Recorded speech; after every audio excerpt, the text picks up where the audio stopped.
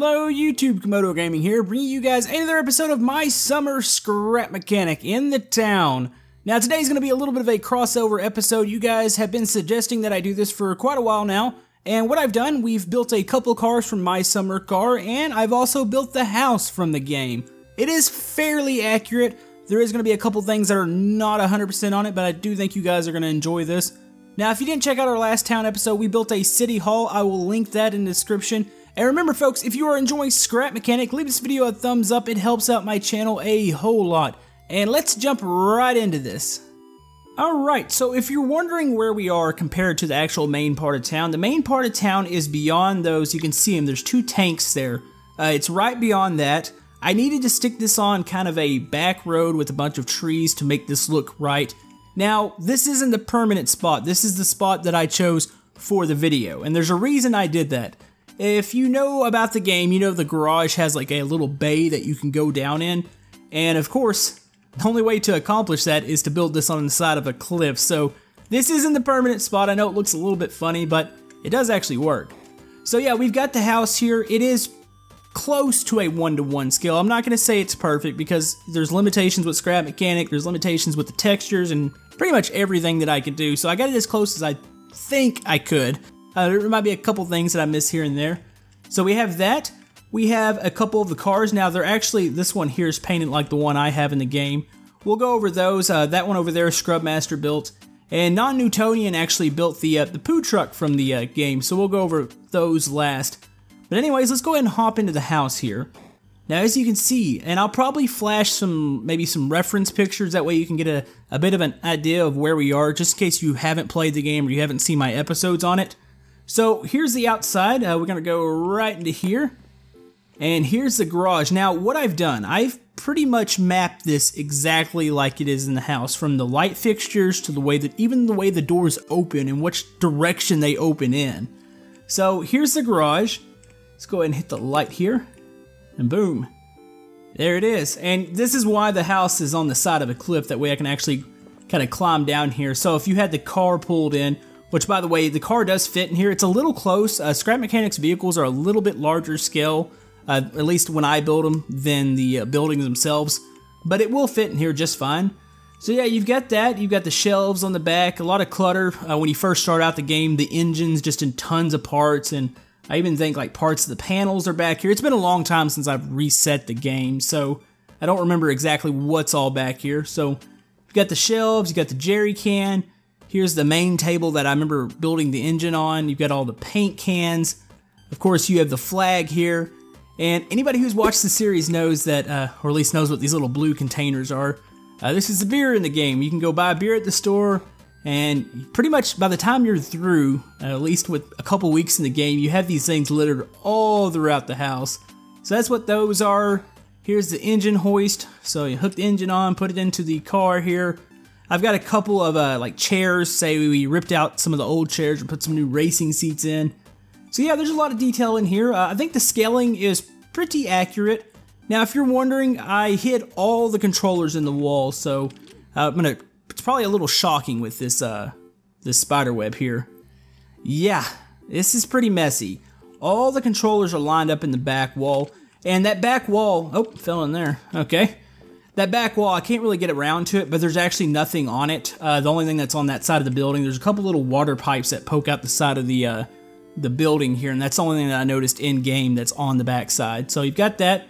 There's the basketball goal. Uh, the light here turns on the outside light. It turns it on and off too. Uh, like I said, I map these exactly the way they work in the game. So if a light turns on, like there's one inside that turns on three different rooms. So if it does that in game, it's done like that here. So you've got that, you've got the blue trash can outside. Let's go ahead and open up the house here. Now, this came out pretty awesome. Uh, there's a couple things uh, that I do want to note. Now, the floor in the game is actually wood. It's wood squares. And, of course, we don't have that texture and scrap mechanic, so I went with the tile and I painted it brown. A uh, reason being is the whole fact that the walls are also wood, so if I would have had wood on the walls, had them on the ceiling, and had it on the floor, I, think it, it was a little overkill. So I'm kind of glad I went with the tiles. You got the ugly rugs. I mean, this house, I believe, is it looks like it's from the 60s or the 70s. So that's why everything's just kind of brown. Uses these really off greens. It's kind of It's kind of ugly. so yeah, you've got that. Here's the uh, where the map is of the uh, of the game. This will kind of show you where you can go do your jobs or where the races are held. So you've got that. Here, let's go ahead. Yeah, we'll go in here first. Uh, this is the living room. Uh, it's got all the hideous furniture that's in the game. You got the TV over there. Uh, you've got the nice recliners. And when I say nice, I mean, they look comfortable, but they, the colors, I mean, man, these, these are bad. I used to, the house I grew up in actually was built in the 60s. So these colors, they just bring back very bad memories. So you've got that. You got the ugly light fixture. You've got the, uh, the random brick wall in here. Here's the chimney.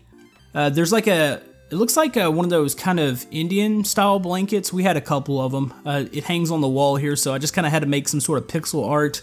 Uh, color wise, these are all fairly accurate. Uh, some things might be slightly off.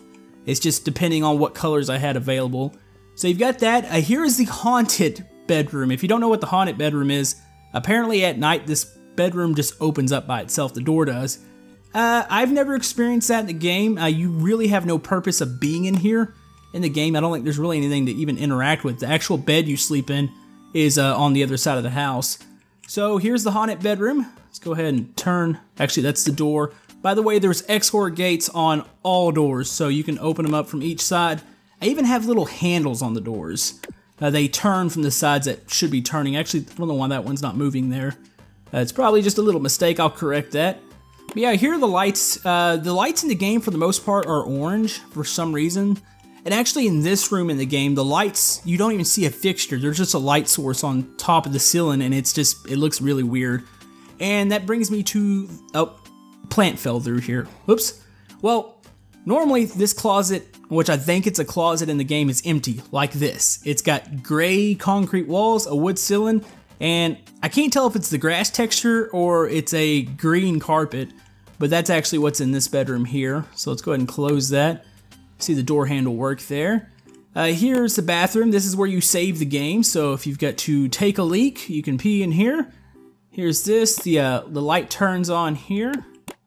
And there's no mirror for whatever reason. You just got the sink over here. So, all right. So here's the bedroom that the player actually sleeps in. I'm going to show you the door handle here. You can see it actually moves down slightly. So yeah, this bedroom, I don't know. It's ugly too. Everything's ugly. Uh, I came pretty close with the wallpaper that they had. The game's got this weird floral wallpaper here, but it's kind of got this color scheme to it, so it is fairly accurate. Uh, I've actually got the light here too. There we go. So you got that. I didn't use a bed piece in here. I actually built this one because the bed in this room's really skinny and it's made out of wood all around it. It's just got like this little pad or blanket on it. So there's that. There's a table. That's where the magazine would be, where you order your parts. Uh, the chair, I'm not a 100% big fan of. It's just the chairs and scrap mechanic. I don't like the default chairs that go in the car because they don't look like they belong out of the car. And then when you try to make one, you've got this one by one block and it's a little awkward, but that's what that's supposed to be. Here's cabinets. Uh, if there's a poster on the wall, I've got a piece up there representing that poster. There's uh, the radio starts out, it's back here behind the door. So that room came out pretty good. So let's go ahead and head over to the kitchen. Alright, so here's the kitchen from the game. Once again, this kitchen is extremely ugly too. Uh, scaling wise, this kitchen's fairly accurate. I kind of wish I could have extended it out maybe by one or two more blocks. Uh, one thing that you have to keep in mind when I built this house, to get the textures on, you know, say like this uh, tile texture and the wood texture, I had to make the walls double wide, and that kind of ate up a bit of space. So that's why certain rooms might not be quite as big as they should be. I, I, still think this one's fairly close, but it might be shortened by maybe a block or two. So you've got that, you've got all the counters in here. They're absolutely hideous looking. It's got that really off green. Uh, here's the stove, little vent hood, got the double sink here. Uh, the light turns on over here. There we go. Uh, I don't like that the uh, the headlight, the light's really focused. I really wish there was a lot more spread on it. Uh, but that's the way the fixture looks like in the house, so I couldn't put those floodlights in. So it's not the uh, not the best lighting in here, but it does the job. So you've got that. It's got like a looks like a picnic table for their dining room table, and that sits there. Of course, you got the fridge. Got some ducks, of course. So you've got that. That opens up. It's kind of hard to close. Actually, let's go ahead and get that back. There we go. Let's close those. Now, here's a closet that sets in the kitchen, and once again, it's like the game, I don't know if they're adding stuff or they just haven't finished it. Because this is what it looks like on the inside of the closet. It's like the green grass, you've got the brick wall and the concrete walls on the side, and then you got the wood paneling. So that's a closet there. Now we're coming to the really important rooms over here. Let's go ahead. This is the laundry room, and this is one of those rooms that was shortened by about a block or two. Could be a little bit wider. Uh, this light's, actually that's the door. The light switch over here controls, and for some reason, uh, let me go and open this door. Uh, this light switch in the game controls, actually is it this one? Uh, let me see which one it is real quick. Yeah, it's this one here. It controls all these lights. I, I wasn't seeing much light pop out there, so I didn't think it was actually working. It controls this light, it controls the light in here, and it controls the light in the sauna. So yeah, you've got that. Here's the washer and dryer. You come into here, here's the shower area. They've got a little bucket here that you move in, fill with water, and then you would go into the next room, which is the actual sauna itself. So you crank it up, you grab the hot water, and you have a little spoon in the game, and you put it over the hot coals, and this is where you take your baths, or I don't know, I don't really consider a sauna a bath, but the game does, so that's what's important. So there's that. So yeah, I'm really happy with the way this came out in here. This looks pretty accurate. Like I said, we are dealing with scrap mechanic and the way its blocks are, but I really like the way it came out. I like the textures, even though a lot of it's absolutely hideous. Uh, this is the back door, or, you know, is this the front door? This house is so backwards. Like, I don't know who designed this house. This is what would appear to be maybe the front door to the house, even though it leads straight into the laundry room, because the only way, other way into the house is through, or right by the garage, which is, I guess that is the front. I don't know. So yeah, the only thing out here, there's a little picnic table or just a little plastic white table with a green umbrella. And this is where you would fall to your death. So yeah, that's the house. There's a, a little flagpole over here. There's a little like wood bin or something right in this area. I didn't add that. I'm not really sure if I'm gonna put that in. I don't know. I wasn't really sure how big the house was gonna come out. Obviously, uh, we're hanging off a cliff here. I'm gonna have to fix that, but that was strictly just because I needed to be able to use the garage. So yeah, it's the little fine details that you might find here. Everything from the slanted roof. Uh, let me go ahead and show you that real quick. The slanted roof's actually got a chimney poking out of it. Uh, couldn't see that from the ground.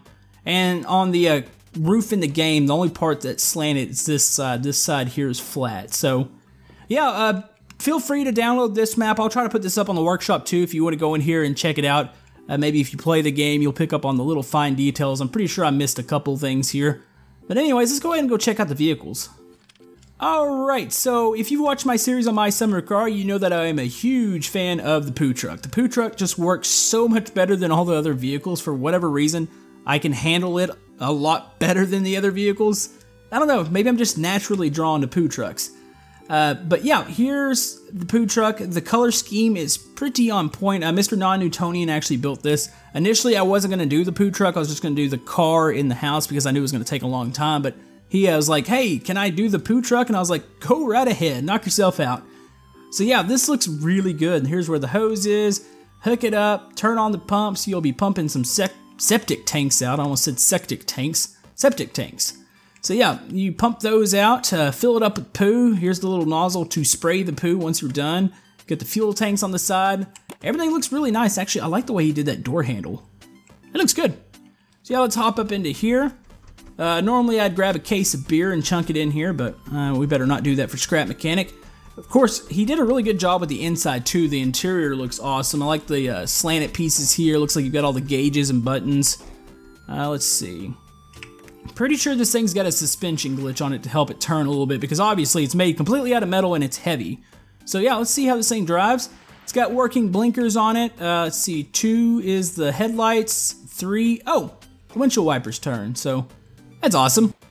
Maybe in the town we should probably put some little septic tank areas and we can drive this around and pump poo. I never thought I'd say we do that scrap mechanic, but uh, I don't know. Kind of makes me want to do it now that we have this vehicle. So yeah, like I said, in case you were wondering, uh, you might be able to see it. Yep, you can see it from here. It's probably to be hard to see in the video. Let me go ahead and drive a little bit closer, uh, and I'll show you where the actual town is. some people are probably still wondering, why is this labeled a town episode? Uh, you can see all the outlines of everything beyond the uh, trees back there. Well, hopefully it appears in the video. But anyways, as far as the vehicle, it is pretty accurate, and I say it, it works fantastic for its size. Alright, so I want to thank Mr. Non-Newtonian for building the poo-poo truck. If you want to download that, I'll link it in the description. Uh, it should be on his workshop. So that's pretty awesome. Now over here we have two of the cars from the game. Now these are the same car. Uh, me and Scrubmaster, we just went on a thing where it's like, alright, you go build one, and I'll go build one. And mine is on the right, his is on the left. His actually looks pretty good. Uh, it's got quite a bit of detail here. Go and pop the hood open. Oh, get stuck against it. Uh, this is a car that you actually build in the game, and the color scheme, at least on mine, actually looks like my car in the game, so this is pretty cool. Now this is a tough car to build because there is just not much room at all in the car, and you've got Scrap Mechanics blocks, so yeah, it's it's definitely a tight fit. As you can see, he's got beer up on top of it. I really like what he did with the windows here and how he tilted them inward. I'm still waiting for that slanted piece of glass. We've got the flat piece. That's why mine has no windows. Just say mine. Actually, you know, this looks like my current one that just got through wrecking. So this is my current car. And yeah, I really would love to see some of those slanted glass pieces. And as you can see, I store my beverages in the back seat. So let's go ahead and take this thing out for a quick spin. There's not much to this vehicle here. This is just kind of a, almost like a background piece.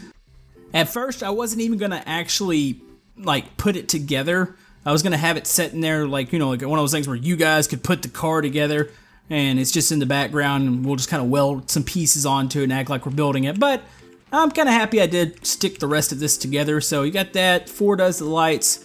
Uh, not much to the interior. Like I said, it's a really, really tight spot here. So we're gonna take this out and try to drive it around. It actually drives pretty good. Uh, I found a little bit different way to mount the suspension on the bottom to make it fit in a little bit more compact area. So, yeah, fairly happy with the way this car came out. I will leave this in the map, so if you guys want to download this and maybe uh, play around with it, act like you're playing My Summer Car, or whatever the heck you guys do with it. But yeah, overall, I'm really happy with the way this build came out, and I actually really like this area. I've got some ideas for this area. This actually looks really good. Huh. I don't know, we'll have to see what we can do in here. Uh, I like this whole little section of the town, or at least this section of the map. I might have to do some more builds. But anyways, folks, I will have some more Scrap Mechanic coming up. We'll have another build coming, uh, probably kind of on my Saturdays, the way I've been doing them. Uh, I'm going to take some of the uh, feedback that you guys gave me on the episode the other day. But if you still have any suggestions for the town, comment below. I will try to respond to as many comments as I can. Uh, I don't always get around to everybody's, but I like to try to set around, especially after the videos posted, for about an hour and respond to people. But anyways, hopefully you enjoyed this episode here today, guys. Don't forget to like and subscribe. Everything helps my channel. I'll have some more Scrap Mechanic coming up. Hopefully some more My Summer Cars, City Skylines, and probably Brick Rigs this week. Uh, we'll see how busy I am. I can't promise everything, but we'll try to get it all for you guys. But anyways, hope you guys have a good day, and we will see you guys next time on Scrap Mechanic. Thank you.